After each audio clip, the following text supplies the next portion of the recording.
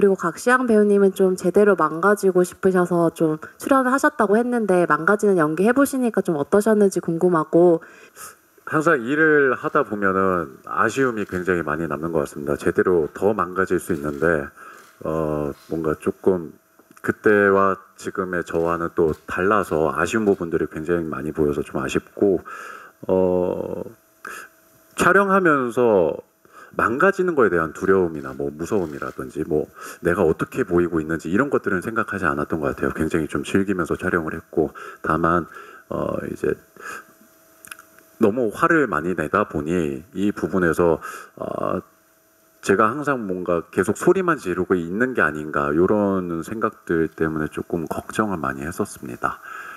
그리고 어, 마지막 질문처럼 성우 선배님처럼 저도 어, 오랜만에 이렇게 영화를 개봉하게 되는 거고 그러다 보니 내심 기대하는 부분도 있는 거고 또 앞서 다른 이제 영화 코믹 영화들이 어, 잘 되고 있어서 저는 오히려 더 좋다고 생각합니다.